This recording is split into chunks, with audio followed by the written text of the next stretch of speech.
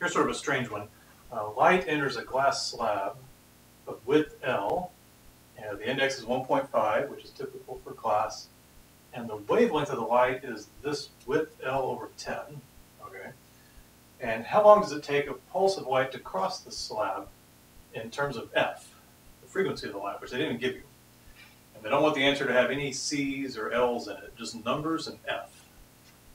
Okay, so first let's just talk about the physics of what's going on. So you got to think about what happens when light goes into glass. We're going to say the light at first has a wavelength here of uh, lambda naught.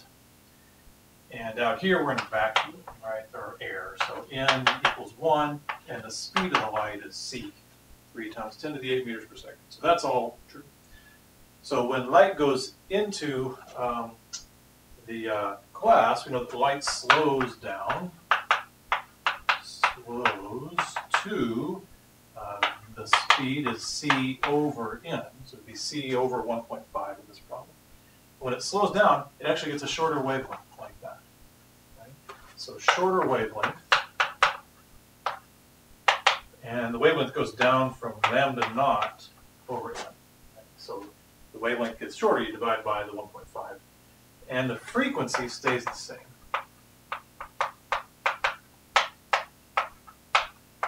Say F equals F naught.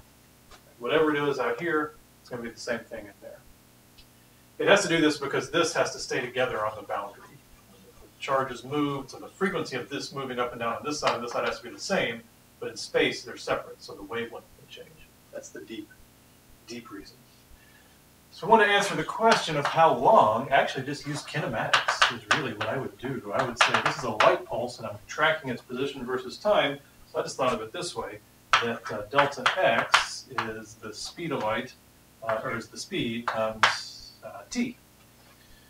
So let's plug in what we know. The distance it went was L, and uh, the speed is c over n, right? Speed of light over that 1.5. And uh, let's see, in time is the delta t you want. So you just solve this for delta t and you get uh, n you were given, that's 1.5 n L over C. And you say, hey, I'm done. Except they didn't want that way. They want it all in terms of F. Right? So they hadn't thought about F yet.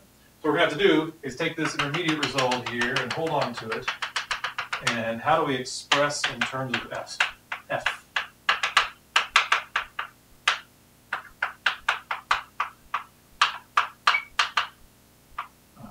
so we were told nothing about the frequency, but we just have to use what we know. The standard relationship is that the speed um, equals the frequency times the wavelength. So in terms of in the, in the vacuum region, C equals F naught times lambda naught. And it's also true in the material, in the glass, that uh, C uh, over N, that speed, right, equals F same frequency, f, times what's the wavelength in there? Uh, lambda over n. So you can see that's true. All we do is divide both sides by n. So how are we going to use all this? Let's go to uh, this one, right?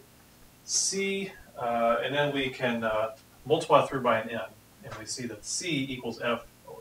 Uh, no, I'm sorry. Let's use. Uh, sorry. What am I doing here? Um, Oh yeah, I'm sorry. Let's do this. C equals F. So here we're going to use this one. C equals F naught times lambda naught. And we were told, there it is, is L over 10. We're given the vacuum wavelength. So F naught times L over 10 like that. Right? And we know that F equals F naught. That's what we're going to use. So forget about this. Yeah, forget about that. So we go C equals F times L over 10 speed of light, if the frequencies, frequencies are the same, times the vacuum wavelength, L over 10. So now, we're going to use this and stick it right there. So we weren't allowed to have C in the answer. And you can see it's going to get rid of the L also. So we're going to get delta T is N uh, times L over the speed of light, frequency times um, L over 10. Simultaneously got rid of the C and it got rid of the L. So in the end, for this silly problem, you get uh, 1.5 from the index times 10 from the wavelength over F. The answer is just 15 over F. So much physical insight.